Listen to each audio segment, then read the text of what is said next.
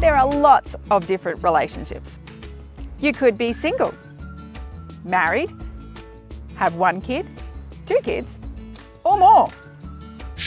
God designed both marriage and singleness, and both can bring glory to God.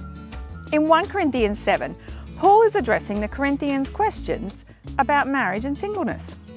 He emphasises that marriage is a God designed institution, but he also highlights that singleness is important for those who are able to embrace it. The passage emphasises that both marriage and singleness are gifts from God, and each has its own purpose and benefits. It encourages believers to live lives that are honouring to God, whether married or single, and to prioritise their relationship with God above all else. Paul highlights the importance of using our lives to serve God and others, regardless of our marital status. Both married and single individuals have opportunities to serve God and contribute to His kingdom.